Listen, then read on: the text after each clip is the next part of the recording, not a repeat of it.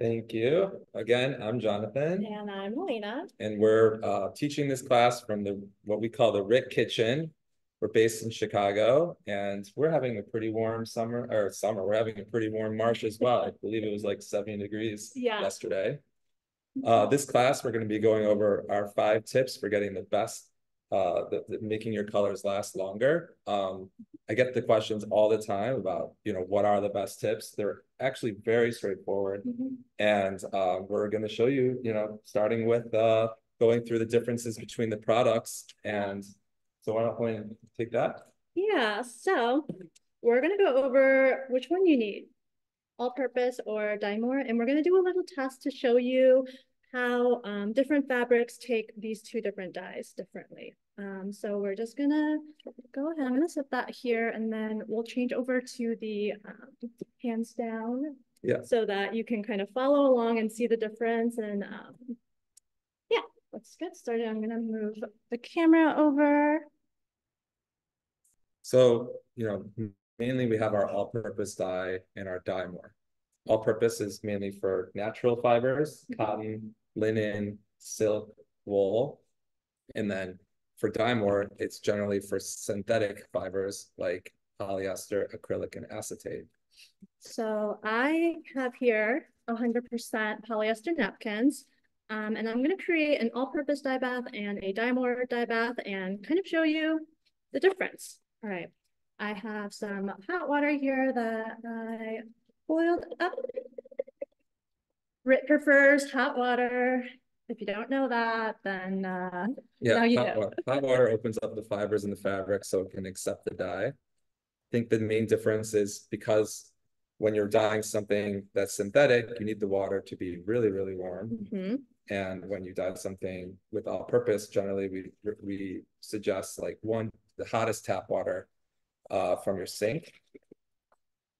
Right, I'm just gonna go in with just a little bit, about a tablespoon.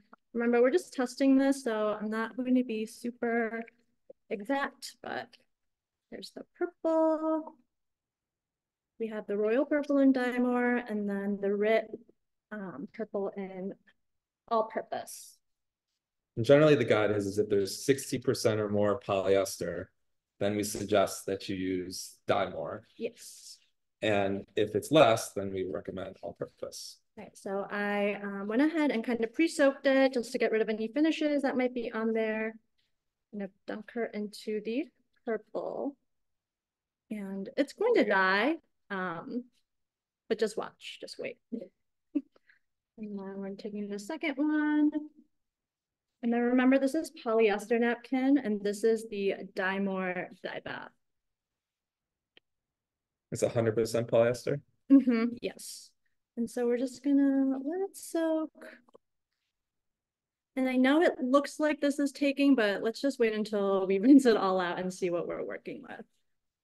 Just gonna put it all in. Grab a- And so generally the rule of thumb is if you don't know what's in the fabric, then we suggest using DyeMore because DyeMore can dye synthetics and also is capable of dyeing blends. So if it's a cotton polyester blend and you're not, or, or any sort of blend, Mhm. we definitely just recommend using DyeMore, especially if you know that it's over sixty percent synthetic. I think that's probably our number one complaint is like, oh, my fabric didn't dye. And it's typically because th- that person didn't use the right type of dye for the fabric. So that's kind of like the number one thing you have to kind of look out for. Make sure to check your fabric tags. And unfortunately, if your tag says um, no hot water, then we don't um, recommend dyeing it, unfortunately, because it might alter the fabric and the garment that you're dyeing. Um, We usually recommend just following the garment tag. yeah, exactly. Let's rinse these out and see what we're working with. I'm gonna take this over to our sink, which is just right over here. Hoping you guys can see this. All right. So this is the all-purpose. We'll rinse her out. Oops. All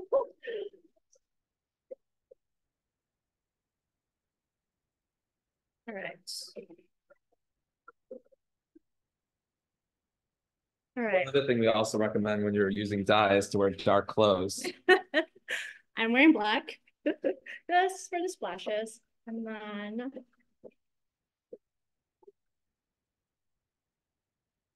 here is the Dye More Purple. You can kind of see that it took the purple tone much, much better. Um, this is giving a little pink, in my opinion, a little blush.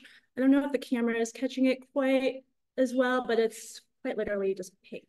Um, so it's not the right shade, obviously not the color that the bottle says. Um, but with the Dye More, you can see that the color purple is tonally just like much, much closer. And again, you that I only dipped this in for like what, like 30 seconds. So if we kept it in there longer, you can kind of get some of these like darker tones that you see on here. Um, so yeah, number one is always pick the right dye um, for the right fabric. Um, and yeah, I don't know if you guys can see this, but here's the two comparisons. Awesome. All right, we can move on to the next tip, which is talking about cameras and switch. we'll talk about temperature and how important that is. So typically with the two different dyes, we recommend with More, as I was saying before, that you need really high heat. And so anything that's, so we recommend actually that you dye on your stove. So here, what we have is a, a pot that we're heating up water. We try and keep the, the water a little bit below boiling. We don't want there to be a you know hot boiling dye bath and you could get you know potentially hurt if it's too you know if the water's too crazy. But we recommend something a little bit below boiling, so usually like 210, 220 degrees Fahrenheit. Mm -hmm. And then for all purpose, that is you can you don't need to dye on your stove, but you can dye in a you know uh, a bucket or a container, and we recommend just the hottest water from your tap. But if you really want a really good, you know, pop of color, mm -hmm. we recommend also supplementing that with water from your stove so that it can be as hot as possible. Now you can also dye our with all-purpose on the stove, um, and that would even make the colors even more vibrant. Basically, the hotter the water, the more vibrant the color will be. We'll test that out right now. This is um, cold tap water that I just pulled. We'll also do a bath with hot water.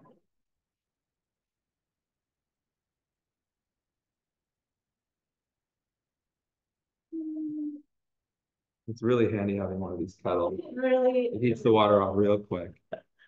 Um, I'm just gonna label these for you guys so that see it. Hmm, maybe that tape is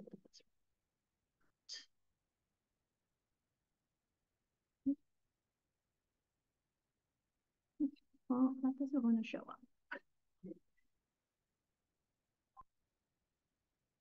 All right, we're gonna go with fuchsia this time. Remember, this one is hot, this one is cold.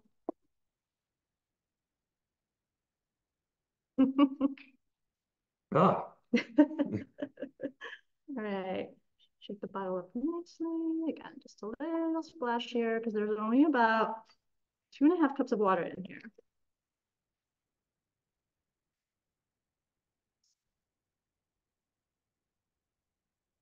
Right. Remember, this is cold and hot. You can already kind of see the color difference. Oh, this is hot. Like one is a little bit darker than the other, even though we put the same amount of dye in. And now we have our two cotton napkins here. First, I'm going to put these into some water here so that we can pre-soak it. You always want to um, pre-soak things just so that it absorbs the dye evenly and you get a nice um, consistent color throughout. We also recommend pre-washing fabric before, because that removes any finishes that might be on the fabric. Mm -hmm.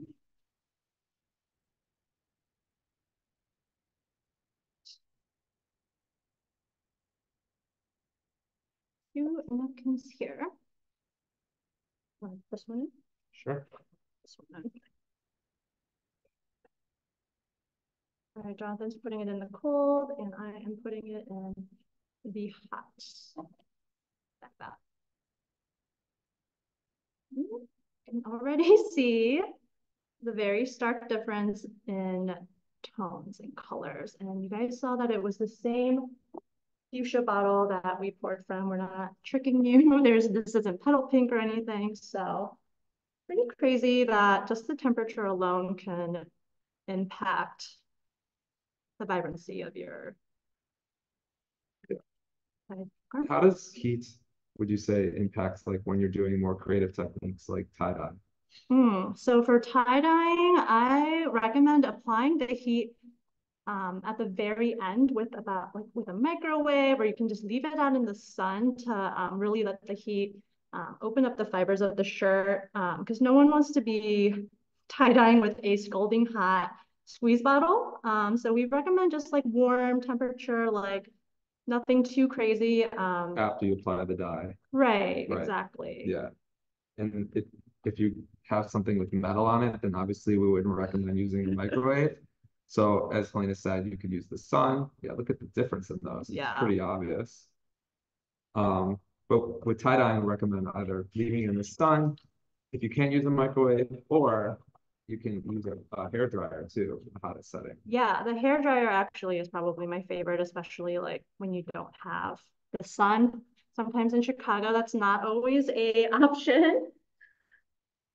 Um, okay, I'm gonna go ahead and actually dye this one into this fuchsia color so that I can show you guys what it looks like with the fixative afterwards. Um, and we'll do a little comparison there as well. Just kind of moving over here. Fuchsia is one of my favorites. And it's such a nice, vibrant pink. Pink was pretty popular this year or last year. Yeah, for Halloween, uh, thanks to our, our friend Barbie.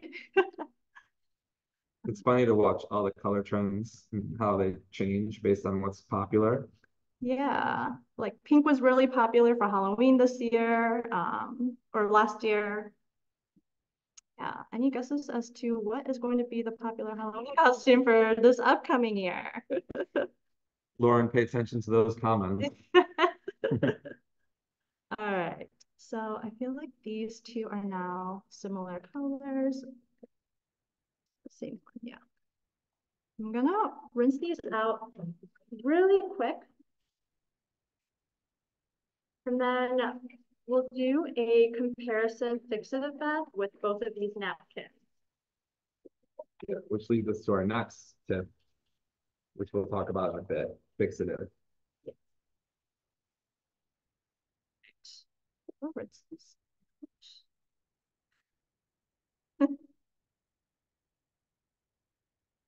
if you do ever have dye on your counters, don't worry, it won't stain.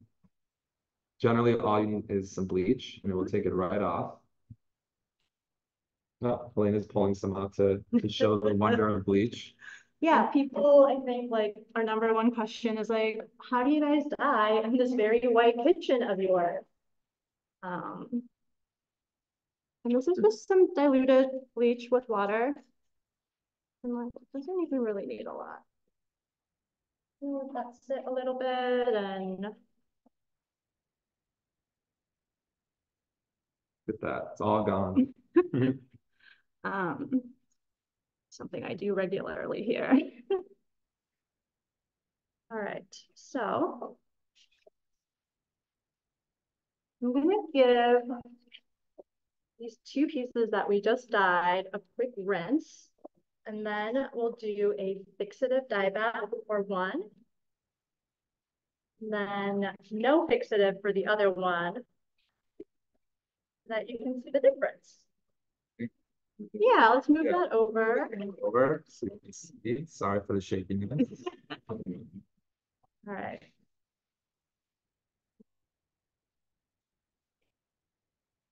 Oh, there we go. All right. Here, I'm creating two of our dye baths or fixative dye baths, and we're just going to fill it up with some water.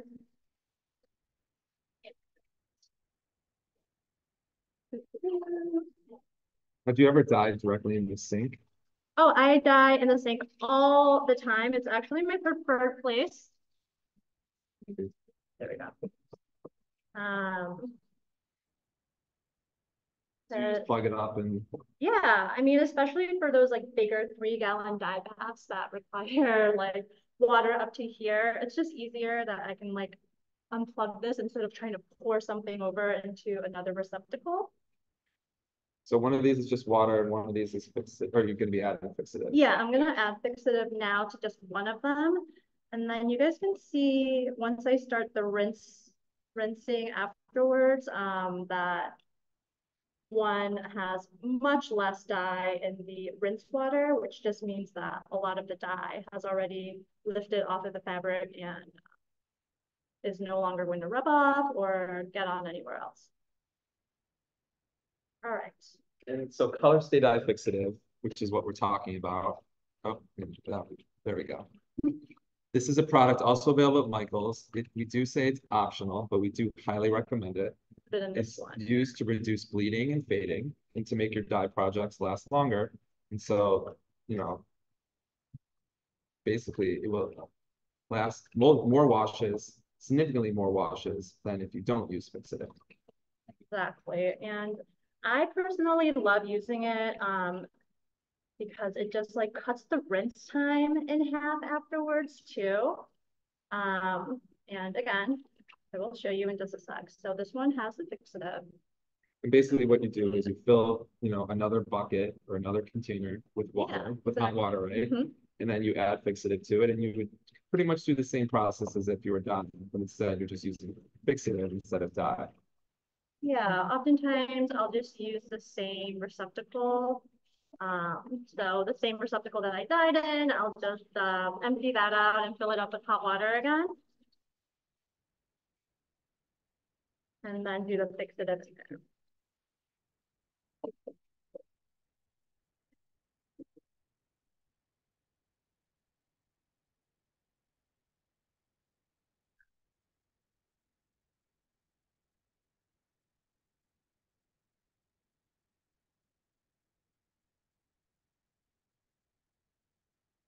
So again, this is the one without.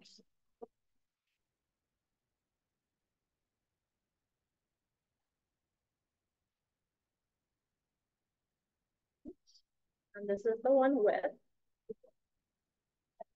And you can see that the one with fixative is bleeding more dye out into the um, fixative bath, but that just basically means that the fixative is pulling the dyes that haven't set onto the fabric out into the water so that it's not just sitting on the fabric. That's also really a nice tool for when you're tie dyeing as well, because it makes sure if you do have like white areas that you're trying to protect, it makes it so that the dye doesn't bleed into those white areas.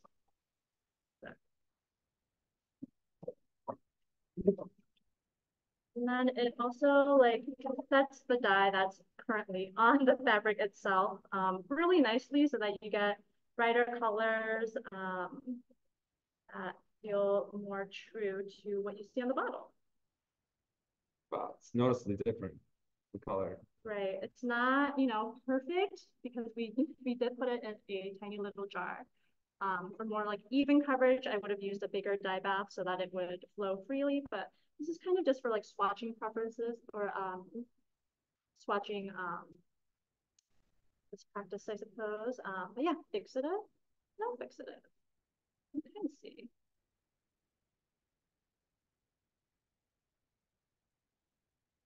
Awesome. We're back. One of the uh, number one tips also, in addition to what we're talking about, that we're not technically covering, but you brought up, which is a good point, is making sure that the dye bath is big enough so that your fabric moves freely. So you'll see, because these were so small, we weren't, and we weren't agitating the fabric consistently. So the dye wasn't able to get to the fabric consistently, and so you get an uneven coverage. And I would say that is the number one reason why you would ever see a splotch or any sort of, you know, imperfection that's not in your fabric is not having enough dye and water in the in your receptacle so that you can move the fabric freely. Yeah, once we're done sharing some of these tips, we're actually gonna be dyeing an entire uh pair of jeans all black. So we'll be filling the sink up. Um, we'll get three gallons of water in here. Um, we'll be able to show you what that kind of looks like. Um, instead of these like little swatches and napkins. Because these are fun, but that's not what we're here about. Yeah, exactly. All right. Now, I wanted to show you guys Move this back. how. Yeah. we'll do that. How um, salt and vinegar, which are um, additives that we add into our dye baths based on different materials and how that helps to um, get different materials into brighter, bolder colors. And so typically with salt, we recommend that to be used when you're dyeing cotton, linen, um, ramie, rayon, and if you, uh, we recommend vinegar for when you use, when you're dyeing, uh, silk or wool. So we have some wool yarn that Helena is going to be showcasing how important it is to use vinegar in the process, and it will be hopefully pretty noticeable. And not only will the vinegar help to, um, you know, make the color look more saturated, but it'll also add to the longevity of the color as well. There's going to be less fading. Um, it just really helps to bind the uh, dyes onto the fibers of itself. All right, number one, gotta get this wet. I don't ever like putting dry things into a dye bath unless you want a really harsh dye line. What color are you gonna do for this one? I don't know. I don't know. We haven't pulled a color for this one yet. Do you want to pick one? Yes. Let's go a little moodier. Try marigold. Ooh, okay. One of my favorites. You can go ahead and uh, pour some in there. Okay. One key thing always when we, when you're dying is we recommend shaking the bottle first. Because the dye can pull, you know, can sit, and so we want to make sure it's evenly in the liquid when you pour it into your dye bath. Pour a little.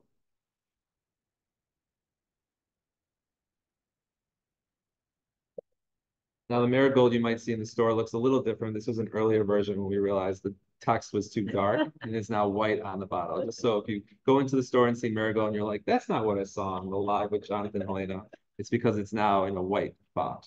All right. I feel like I'm making some black papers. Okay. Um. Oh, wait, with the stir it. Oh yes. There's the sticks right there. Um. Got some vinegar. This is what we were talking about. Um. We will add it to the one that you just stirred. Usually you want to add about like a cup for three gallons, um, but since we only have about two and a half cups here, I'm just gonna do like a tablespoon. Alright, stir that up. I'm just gonna dip one side into the vinegar and dip the other side into the non-vinegar dye bath. And hopefully you guys can see how it impacts the dyes. Um, and this is Lion Brand's Fisherman Wool dye, I believe. And again, kind of similarly with the um, DyeMore and All-Purpose um, one that we did, you won't be able to tell the difference until you rinse. Because when you rinse, the dye is either going to all rinse out because you didn't use the right one or the right technique or the right um, additives in there, or it's going to look really great.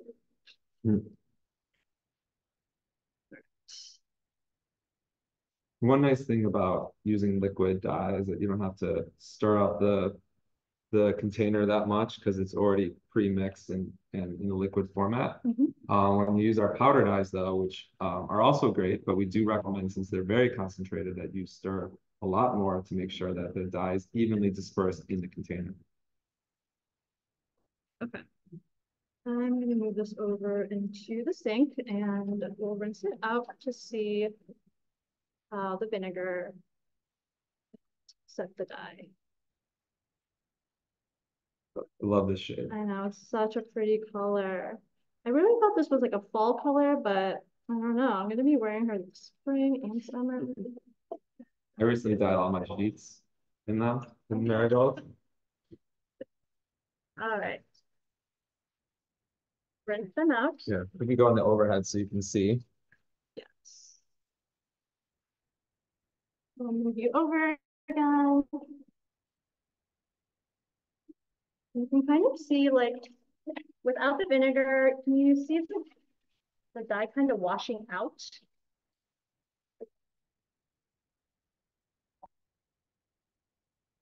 Oh, yeah, that's super noticeable. Um, as you can see, it's like, it looked darker when we pulled it right out of the dye bath, but again, like I said, you really can't tell until you rinse it out and see how much of the dye actually has penetrated into your fibers versus how much of it is just like sitting there, um, waiting to be rinsed out like that. And then you can even tell like more has rinsed out here than here, just the rinse water is darker. Um, on this side with the vinegar, Oh, yeah.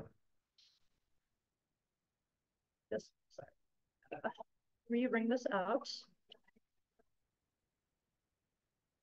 And um, when things are wet, they're gonna generally look a little bit more um, saturated, and then as they dry, it'll lighten up. So even from this shade, it'll get darker if we just, or it'll get lighter as it dries. So this is the side with the vinegar. And this is the side without. It's very difficult to tell on camera, But it's, it's real. but it's real. I can see it in person. Mhm. Um, maybe if we have it over the white, we'll be able to see it better. Scoot back over here. Yes. No, can you tell? This is the vinegar side. And this is the side without vinegar. You can also leave it soaking for a little bit longer, um, and then revisit it at the end to kind of do a Yeah, let's do that. Yeah, I'm gonna put these guys back in here. And hopefully by the end of this, they'll have picked up some more color, um, to kind of show you the difference. You know, let them hang out here. And then we'll move on to our next. All right.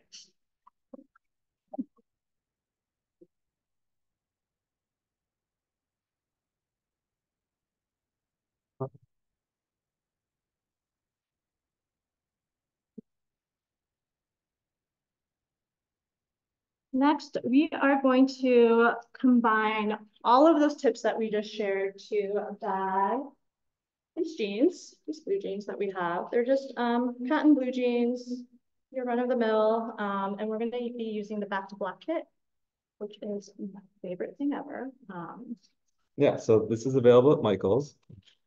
It contains our darkest dye we've ever made. Jet, oh, it's right here, jet black, ever. Said on the bottle. I have too much black clothing, says no one ever. It's especially important when you're dyeing things to wear black clothing. And basically, we came out with this kit um, to, you know, really promote the upcycling messaging that we're always about. You know, that dyeing something, dyeing four shirts that you own with dye reduces your carbon emissions by 74% versus buying four new t-shirts. So we're always recommending if the color is fading that you, you know, dye instead of buy. Don't buy it, dye it. exactly. It's, uh, it's been our slogan since 1917. Yeah, and I would say black is one of the most obvious shades that really does fade. I Mhm. mean, I have countless amounts of black clothing that are gray now, and so I, I'm constantly using this back to black kit to bring it back to a vibrant black. Yeah, and you know, every time you wash your jeans or anything for that matter, um, especially with the laundry machine and dryer, like they are very rough on your clothes and um, you know, it was made back in the day when people were still working out in the dirt, but like our Yeah. clothes don't really need that much agitation anymore. So um, oftentimes I see more fading like faster. Um, And our kit also comes with, this kit comes with uh fixative, which is what we just went over before, because it's again, super important. And actually, which we're not using, and we're, you know, daredevils here, comes with gloves to protect your hands so that they don't get stained with dye. um, yeah, my hands are always naturally stained. So, Yeah, but I the number of times I've seen you with purple hands. And the fact that I have gloves right here, but. All right, we're gonna go ahead and I'm just gonna fill up the sink. Um, I'm not gonna bother with some large tote that I have to like carry around. I'm just gonna fill the sink up with hot water. Yeah, we recommend if you have one of these large basin sinks, or even a sink that's divided, Yeah, or like a, you know, laundry sink or something. yeah, it's really, really such an easy way to, to dye your clothing. Um, okay, I'm gonna get this wet so that we get a nice even coverage when we, um, when it's time to dye.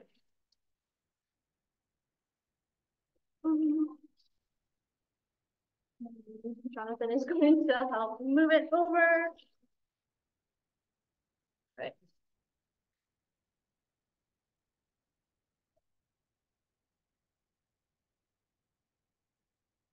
And I'm not gonna go too crazy. Um, I've already washed these jeans once before.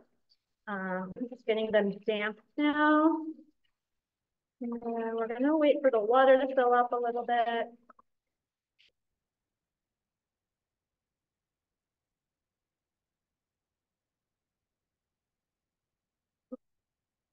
This, What, so for this, we'll be adding salt, right? yes, because this is cotton, we'll be adding salt to the dye bath, um, which we have here. We'll add about a cup of salt, and that will help to, um, find the dyes on here. That to the side for now. Maybe as that fills up. Oh, wait, no, then we would need this. So we can add the salt now, right? In the Yeah. dye? Mhm. Yes. We'll have a cup of salt.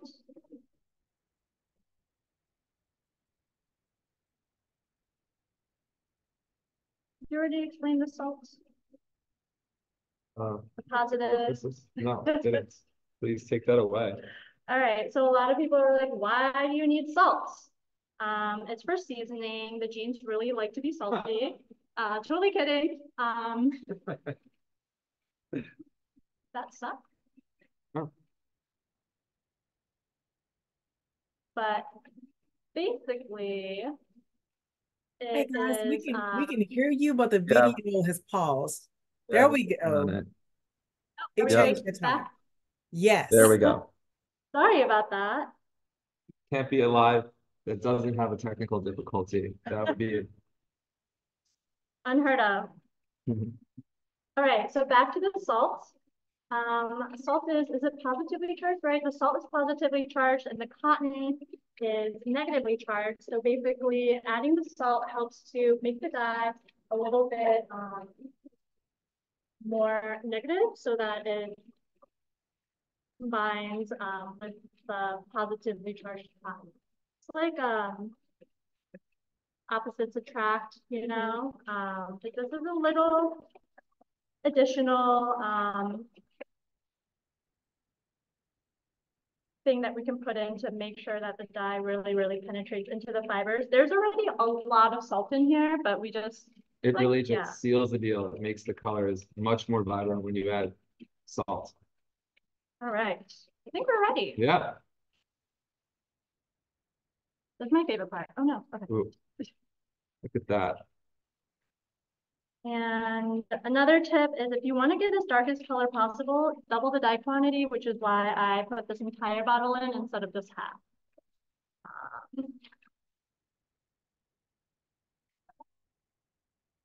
Oh, that's a tip I've never seen. Fill the bottle up with water in order to get more Oh. dye out. You clearly don't have hair and have never ran out of shampoo or conditioner in the shower.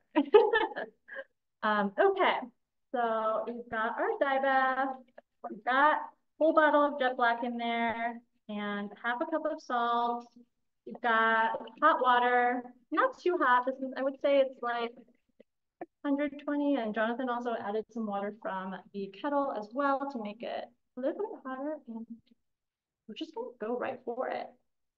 So the first thing you want to remember is that you don't want this just sitting in the dye bath. You want this, you want to be stirring it consistently for the first 30 minutes. Yeah. Um, As I said, if it's sitting, then the dye doesn't get applied to the fabric evenly, and so then you would get an inconsistent uh result and it wouldn't be solid. exactly. And you'll see, we have more than enough water, more than enough dye in here so that the fabric can move freely and move around and dye can get to all the different places of the fabric evenly. And, you know, typically I like to dye things. I mean, it, it kind of depends.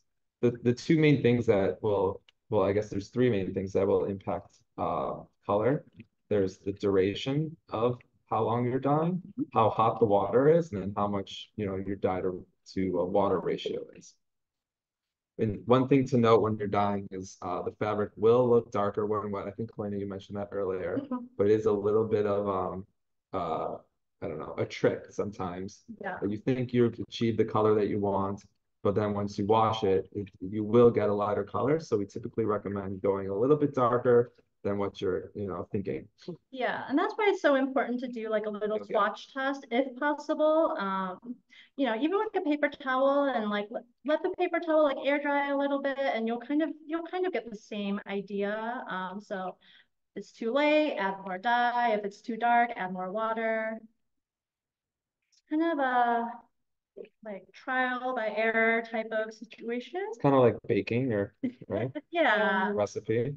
Exactly. Um, and you can already tell like the color is I would say, what is the average amount of time you dye like a pair of jeans you spend? Honestly, it depends on how hot of water I'm using. If I'm using water that's like too hot that I can't even like touch it, I would say like 15 minutes, Okay, especially if it's 100% cotton. And then if it's like kind of more warm to the touch and like from the sink like this is right now, I would I would be inclined to leave it in for a little bit longer than uh, you want. and would you say you have to stir the whole time, or You know, think that you can leave it sitting for any point of the dye? I think about after the first like 15 to 20 minutes, you can just kind of let it sit. Um, but don't let it sit like, Too long, yeah. don't let it sit like this, right? Like having one side out and one side in. Like if you're just gonna leave it, um, after stirring it, make sure everything is submerged and not like crumpled up or folded over onto one another, because that is how you'll get some of those, um, Splotches. yeah, But also, I was gonna say you don't want to leave it sitting for too long. Because then you will get that uneven coverage. So maybe a couple minutes, take a break, grab some water. Right. This is actually so therapeutic. This I I love dyeing. Do you ever listen? Do you have a playlist that you listen to? Yes, it's the it's called um the sound of the dye bath. And I just I, I don't know. I like listening to the water. I don't like listening to music as much when I'm working for some reason. I find it to be like overstimulating. You're listening to the fabric. Exactly. I'm listening to what it needs and how she wants to be treated.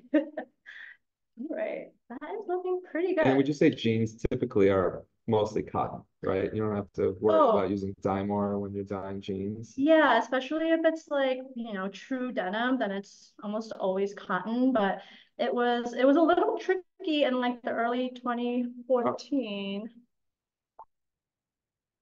Sorry, we're having a little bit of lag there. I think it's back. Yeah. Um, but yeah, and back in 2014 when we were messing around with uh or wearing um skinny stretchy jeans, a lot of those were like 50% cotton and 50% polyester because it needed to be stretchy. Like for those, I would probably use DyeMore Mhm. because there was so much elastic inside. And with DyeMore, we don't actually have a black, we have what's called graphite. And which I can grab and show you. Graphite is the closest. Here it is.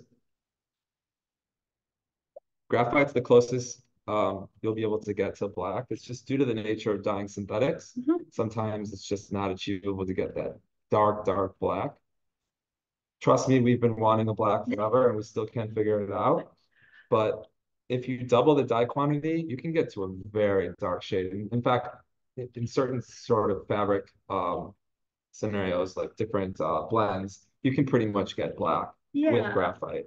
And if you check out our website or our page, like how to get as dark as color as possible, we also include, um, you know, if you're trying to over dye a red garment, um, with There we go.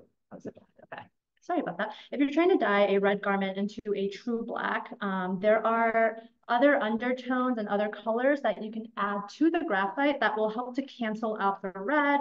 Um, if you think about the color wheel, the opposite side of red is green, so you want to add a little bit of green to the graphite in order to get um, closer to black, if you're dyeing something red, that is. So you kind of have to think about color theory, take it back to, you know, grade school and Or just Yeah. rely on our website because we've done all the work for you and helped you figure it out.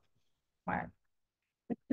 And that also, that applies to if you're using black as well, right? Mhm. But, you know, adding secondary color to combat that undertone. Yeah, And again, this is just referring to if you're dyeing something that already has an existing color, like something that's red or yellow or green.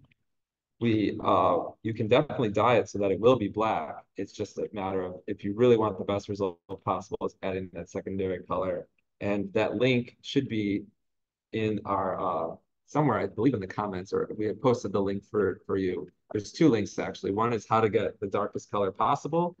And then another was just our general how to dye page. And on there, um, you can learn how to dye based on the type of fabric you're dyeing or on the type or the method, whether it's the stovetop method or the bucket method or dyeing with your washing machine.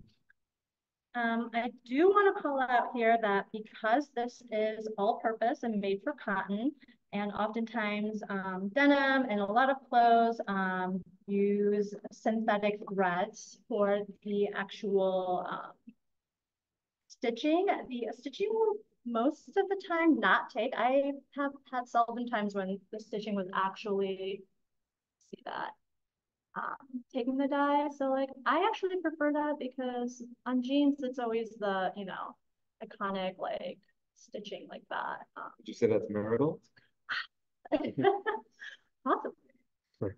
Um, yeah, just something to know. And if you wanted the stitching to dye, um, you could also throw in some DyeMore into this dye bath and uh, up the temperature by like a lot. And the thread should take, but again, I really like the contrast stitched look.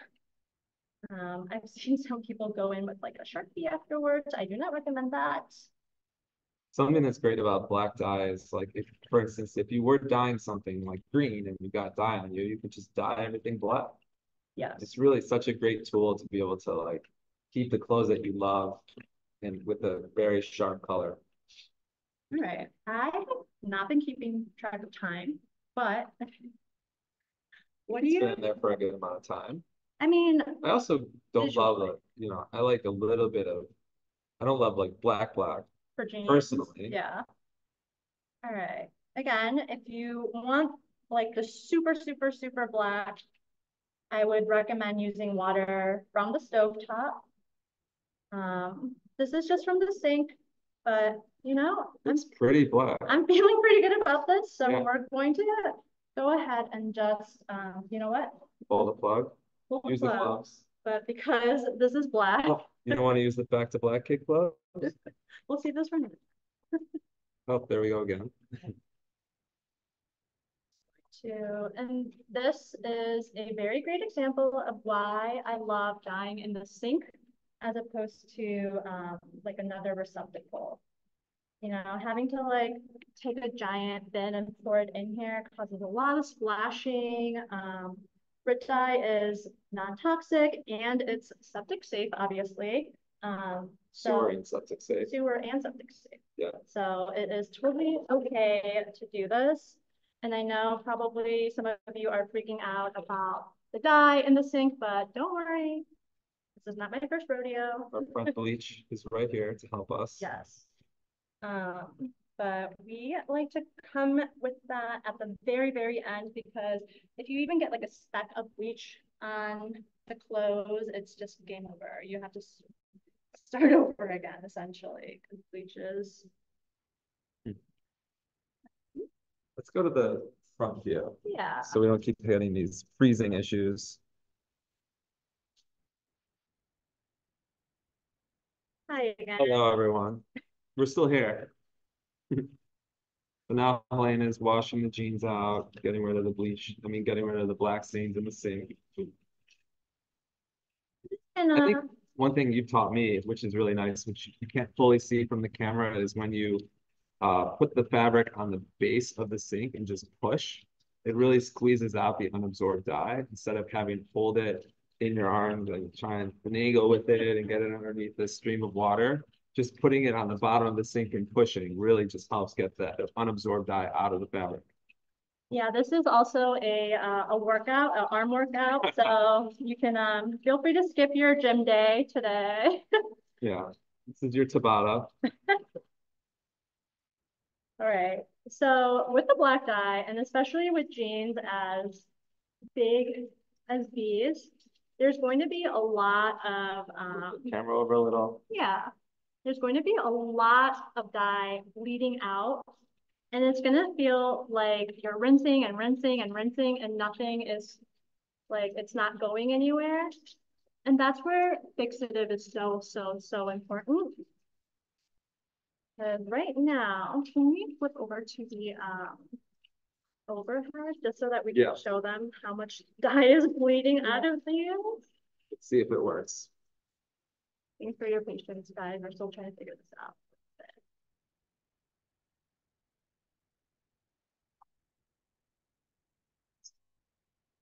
See, yeah, so you see all that dye coming out. And it's just, it's never ending. It's not gonna get anywhere if you just continue like this.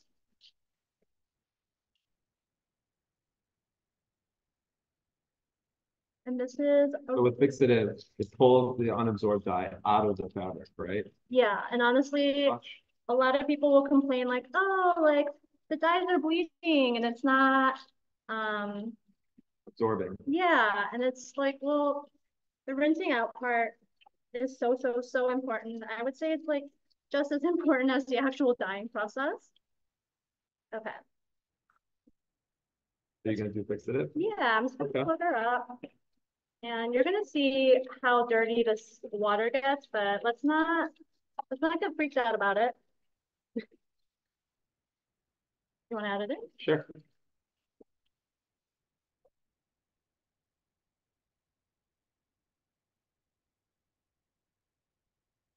It's got logo. All right. Added a fixative. Now I'm just gonna kind of agitate it in here and let it kind of get all over.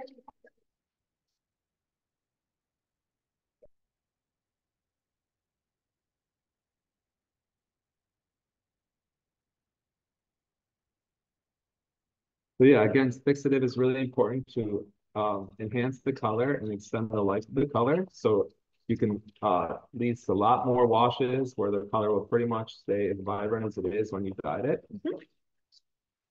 You can see all that unabsorbed dye here.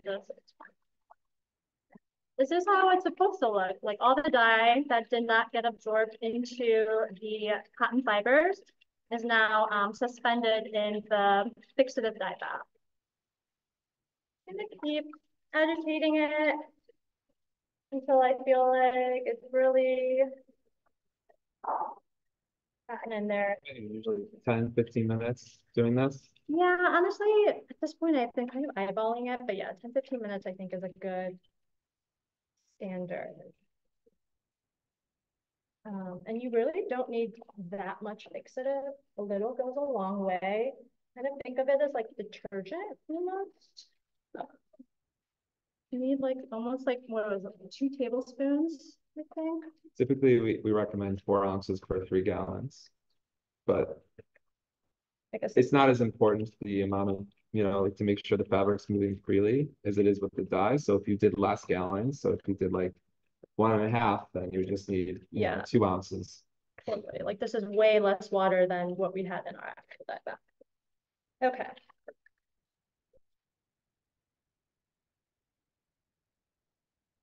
I'm feeling pretty good. Yeah, looks so dark. Definitely more than how it started. Oh, yes. All right. So, so this is the fixative dye bath that is, uh, that we're draining right now. And then this is kind of my favorite part to show the non-believers of fixative is what the rinse water looks like after we're done doing the fixative. All right, we'll clean up When you rinse, do you use hot water or cold water? cold water. We want to use cold water, so I'm pulling it all the way towards me. Um, We want to use cold water because the hot water will just make the dyes reabsorb into the fabric.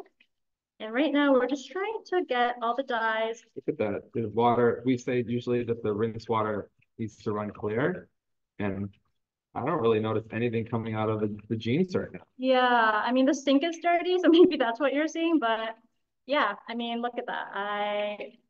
I Not, not like before when you were pushing down Right, and getting all that black dye out of there. Like there's no residual dye left really on these jeans. And, you know, in order to do that without fixative, I would have had to sit here probably for twenty minutes, breaking a sweat, like doing everything by hand and trying to squeeze stuff out.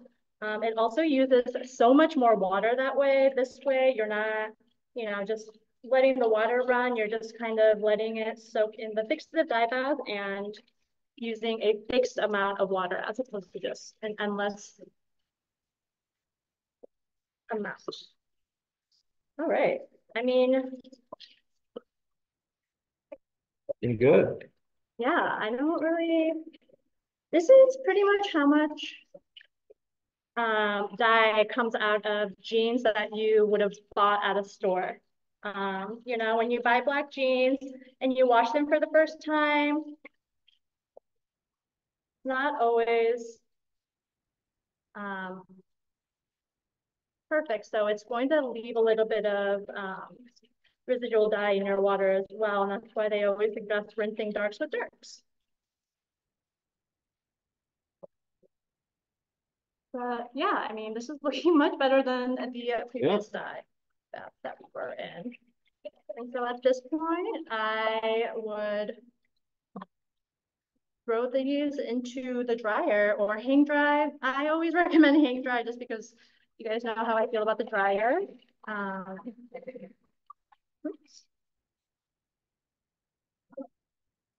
So yeah, I prefer to hang dry, but you can also just throw these into the dryer with an old towel. Um, that will kind of help to speed up the drying process.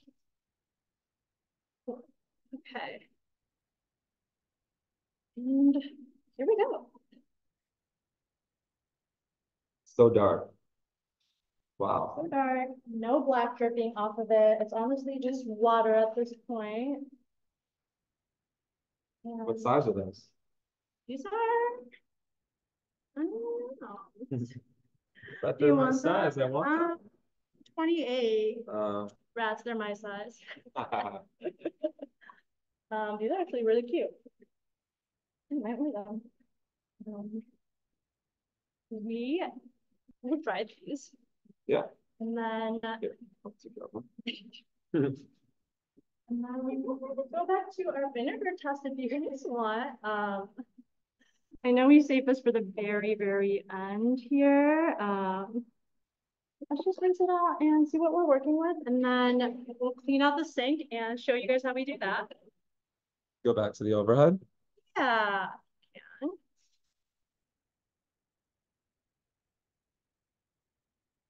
All right. As a reminder, we have vinegar on this side and no vinegar on this side, and this is wool, which likes vinegar. This is the vinegar side that I'm rinsing out.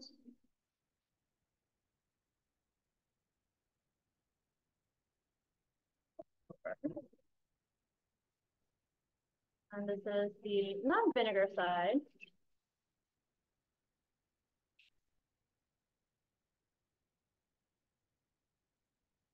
You don't want to agitate it too much, um, because wool fibers are pretty delicate and will felt up if you agitate it too much, especially with hot water.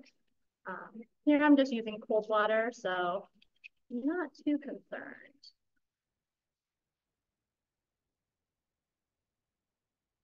Vinegar side.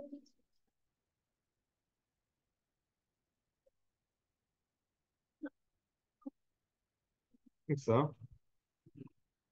Again, everything dries lighter, so I'm gonna try to get as much water out of here as possible. So I can show you guys.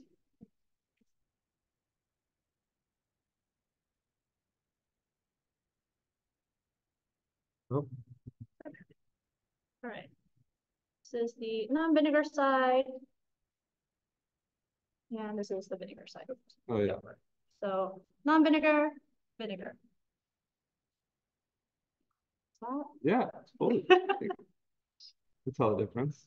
Yeah, I mean, again, you were using hot water, right. you were using dye, so it's gonna dye well, but the vinegar just adds that little bit of oomph Yeah, you get. exactly. Um, again, it's not like a huge difference, but it does make a difference. Um, yeah, What are you gonna knit with that?